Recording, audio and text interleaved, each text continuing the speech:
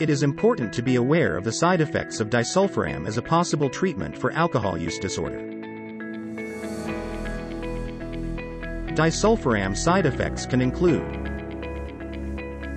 drowsiness, fatigue, and headache. Also, metallic or garlicky aftertaste, skin rash, and sexual dysfunction. Rarely, serious side effects of disulfiram can include psychosis, nerve inflammation, damage to the peripheral nervous system, hepatitis and liver failure. You may ask, how does disulfiram work for alcoholism? Disulfiram works by creating unpleasant side effects when alcohol is consumed, thereby discouraging drinking.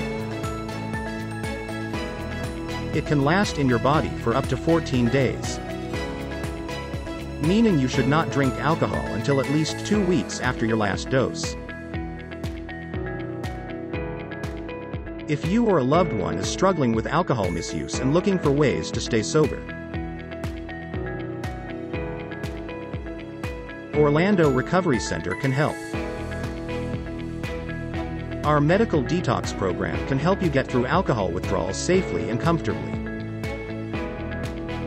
Call us today to learn more about addiction treatment and get started.